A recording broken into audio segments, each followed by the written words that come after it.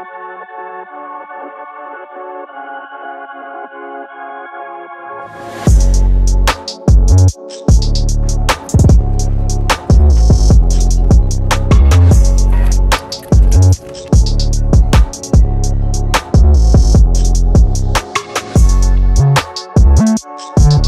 going on guys? Today I want to talk about losing it all. There's much talk that if you were a millionaire and you build up a business and you lost it all because now you have this millionaire knowledge that you can build it all back up again. I'm here to tell you how that concept is fundamentally flawed and I'm about to tell you something that will prevent that from ever happening. If this is your first time here, my name is Glendon Cameron. I'm your corporate coach. I am teaching you how to build businesses, create cash flow, so you can have a better and greater life. The art of holding is below. All right, so this is the trope that, hey, if I lost it all and I had this knowledge, that I would be able to build it up again. Here's something that you guys need to understand.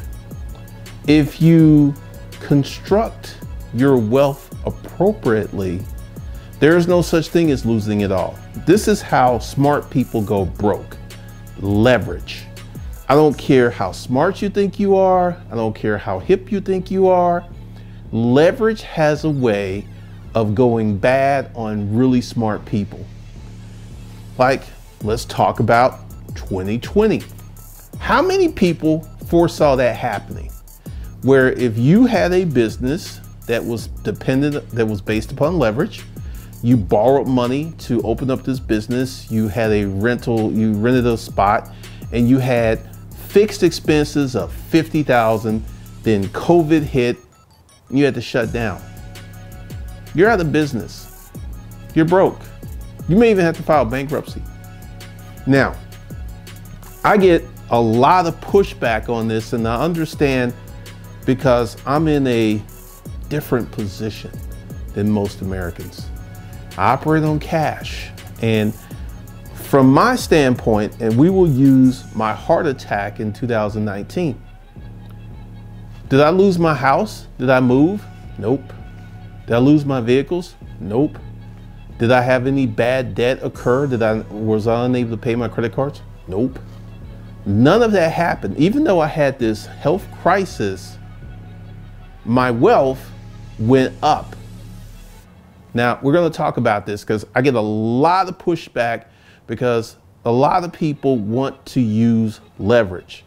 And leverage, appropriately used, is a good thing. We're going to talk about bad leverage, aka bad debt, and we're going to talk about good leverage, aka good debt. On the personal side, I have no personal debt whatsoever. None. I don't have any car payments.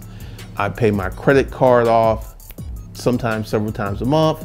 So I don't, I don't carry a balance on my credit card. From a personal standpoint, I am debt free. And I plan on keeping it that way. I put up a video talking about using a dividend stock portfolio and I once again I had the the, the, the, the you know I got a video that's going to go up on Savage Finance tomorrow, and I want to deliver you from using debt for personal situations. If you can avoid having a car payment, you you have more money in your pocket.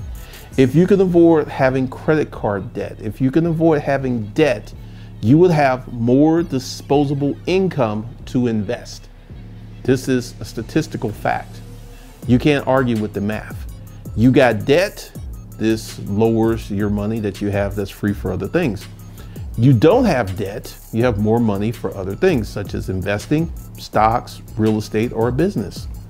And I want to deliver you from leverage. Now, let's talk about you know, I personally believe that any leverage on the personal side is bad. You want to know why? Because when you leverage something, you automatically reduce the usable amount of money you have in the future. You're actually bargaining the future for today on the personal side. Now, I'm going to give you an example of good debt.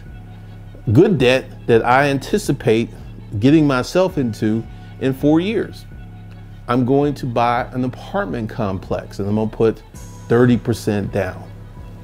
So we're talking about a 10 to 15 million dollar apartment complex.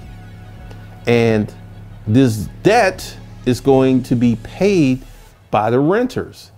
And there will be enough payment from the renters to cover the debt, to cover the property taxes, to cover the property management company expenses, and there will be money left over. That's good debt. If you're not have debt, if you're not using debt to buy an asset that gives you an appreciable return, that i.e. is bad debt. And this is how many smart people go broke because like I did a video talking about people who claim to be millionaires and financing cars. And that, that prompted me to do some more research and to find out that most of the millionaires in the United States are asset-based millionaires and most of them have a net worth of $1 million.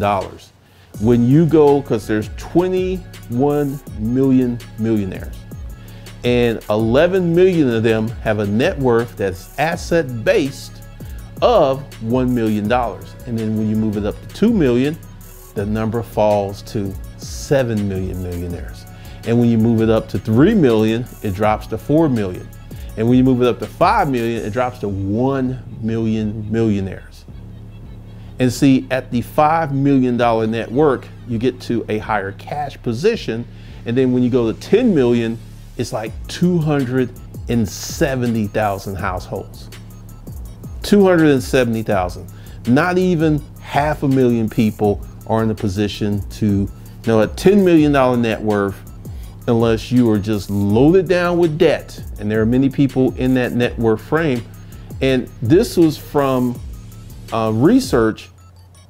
If you are a person that has assets worth $10 million and your cash flow is like 5% or sometimes 3% of that, you're in the danger zone because if things go funky, you could literally lose it all.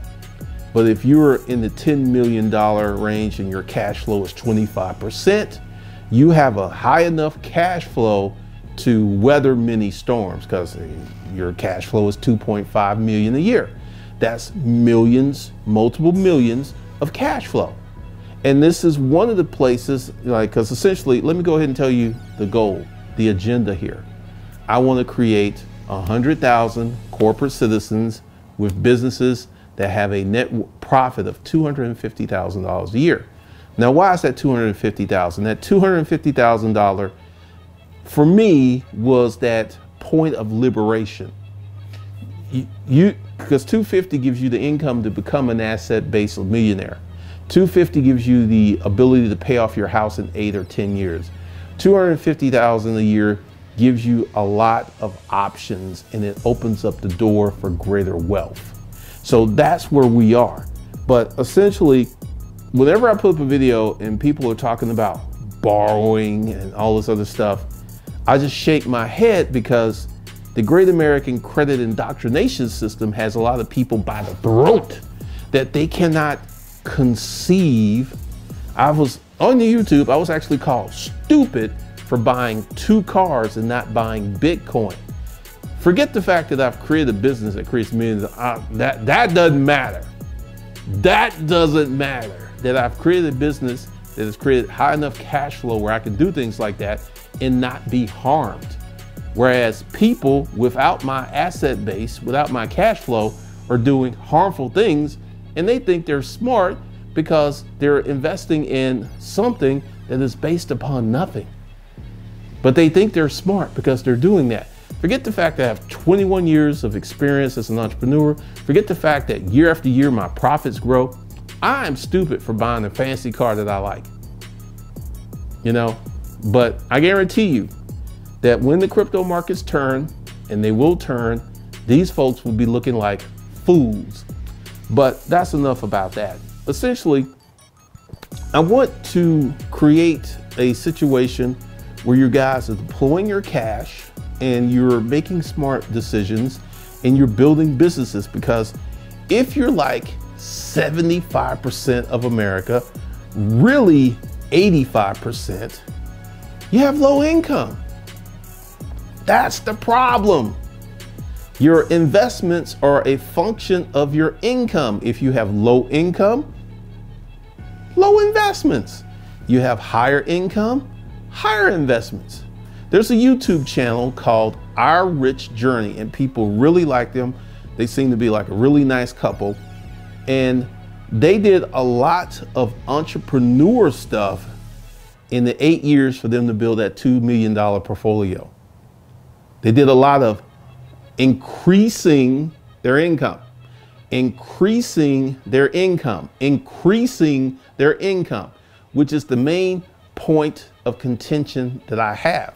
Because a lot of you want to finesse or to go out and get these high limit credit cards or this high limit credit stuff and essentially don't develop the skills and the ability to create and generate cash. And that's what we're going to do here because I got a lot of stuff that's coming up. But this is a well worn tale of people becoming over leveraged. Take Toys R Us. Toys R Us was making money, but they weren't making enough money to cover their debt. They were making money. They had people in their stores every day. And because their debt was so large, Toys R Us went out of business. This is common. So this is where proper money management comes in. This is where debt load management comes in. And essentially, we, you have so many people who are wanting to play the leverage game when they're not in a position to play the leverage game. You're just simply not, especially if you're in low income. Because if you're going to do leverage, going to my example of buying an apartment complex that makes enough money to service the debt, enough money to pay the taxes, enough money to pay the staff, and still have a surplus of money. If your investment isn't doing that at some point, you're hustling backwards and you're in the danger zone. You've got companies out here that are chewing up venture capital and they're not making a profit. And once the venture capital, um, what is that game? Uh, musical chairs. Once the musical chair is in and the music stops and there's no chair to sit down, game over. And once again, I'm trying to breed a different philosophy, a different way of doing stuff. Because, like I said, leverage on the business side is great. If you can borrow some money and buy an asset that's going to give you enough money to pay that money back, plus an additional return on top of that, that's really smart. But on the personal side, I think that's just dumb. Having any any debt on the personal side other than a mortgage I feel is dumb. And I feel that it can be dangerous and it can turn on you. As we saw in 2020, a lot of people got their cars repossessed. A lot of people are in forbearance. Many, many people are in a world of hurt because of leverage on the personal side. So this is how smart people go broke all of the time. And I'm just saying, don't play that game.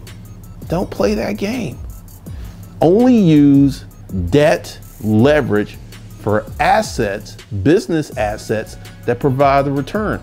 And once you do the math, if you may go out and get this loan and you're like, wait a minute, I'm just gonna be able to pay the loan back. And like, I'm gonna float something else by you because uh, I've been talking to uh, people who own apartment complexes, and this is something that many people who buy apartment complexes do.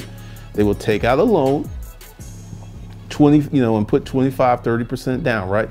And let's say the property was 10 million. And then when the property appraises for 15 million, they would sell it, getting a $5 million return. And then they would get their 25% back on top of that 10 million, and then on that 5 million, and then they will go out and buy another apartment complex and just do it all over again. And that's one technique that I've learned from someone who is actually buying apartment complexes. He said it took him three flips like that to get into his current position where he owns a $40 million apartment complex with $15 million worth of debt. So he has $25 million worth of equity into his apartment complex where, you know, his debt is very, very small part of the proceeds that come in. And he is doing, I think, after all expenses, he's doing like 4 million a year off of this one apartment complex. This one apartment complex. And, you know, he's getting ready to buy another one. So essentially, this is some stuff I'm learning because even though it is my goal to buy an apartment complex in four years, I need to be in the marketplace right now. I need to what's going on. And like, you know, uh, this guy, we, we went to lunch. He schooled me on a lot of stuff. And this is something I did not know. Like, I'm not afraid to say, I don't know something, I don't know something. This is how you get smart when your ego isn't so big that you have to pretend to know stuff that you don't. And I was like, okay. And I saw how that worked. It made sense. Like, use leverage to get this asset, let the asset appreciate, flip the asset, pull the profit out, and then pull your money back out. And then you have more money because you know essentially he, he did that and this is, might be something that i'll do essentially buy an apartment complex let it appreciate it flip it get another one and you know do two or three flips and get to the position where i have even greater passive income that's a good use of debt that's a good use of leverage and like i said once again in business buying assets that appreciate good use of leverage in personal life, financing cars, dumb, just dumb. Unless you can finance a car, start a YouTube channel, and get a lot of money. You know, it, it really depends, but just financing a car to drive around, um, I, I think that's just dumb. I feel that you should get a used car that you can pay cash for and then stack your money, stack your chips, and position yourself to get wealthy. So that's all I got for you guys. And here's something else that's new. I've had a lot of people who want to get in the corporate toolbox. And you know what? We're about to make that available. You can get in the corporate toolbox and you'll get everything at the Savage Financials. You'll get everything at the YouTube Super Creative and you'll get everything in the corporate toolbox. And for one year, if I create anything new, you will get all of that for one year from your date of purchase. However, there will not be a $150 payment plan. You will either have pay in full or have a two or three month payment plan. And that's how you get into it. Because I got a lot of people who want to get in the corporate toolbox. And I'm like, all right, fine. If you want to pay that bread, go ahead, we can do that. So all of those links are below, and I will see you guys in the next video.